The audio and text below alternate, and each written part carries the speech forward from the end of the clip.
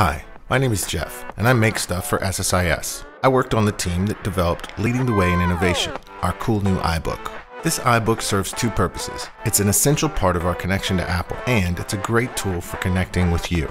The market for iBooks is growing. They aren't just textbooks anymore, they're used as communication pieces in every industry. Why is that, you ask? Good question. It's because these are not ordinary digital books. To give you a better idea of what I'm talking about, let's open up SSIS's own iBook for a closer look.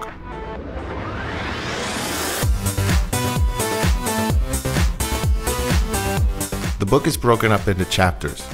Within these pages, you'll find things like interactive audio, The examples of teaching and learning found in this multi-touch book Pop-up windows with supplemental information. You can take a 360 degree virtual reality tour of our campus. And of course, there's tons of video from all over school. Watch them full screen on your device or embedded on the page. It has multiple slideshows showing the great, innovative teaching and learning happening at our school. And interactive HTML5 graphics showing real world results.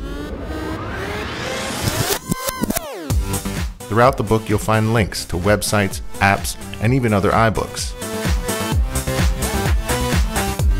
I'm Tina Fosgreen, Curriculum Director at Saigon South International School. This is an event. It's a complete hands on experience contained within a dynamic digital layout. So check it out.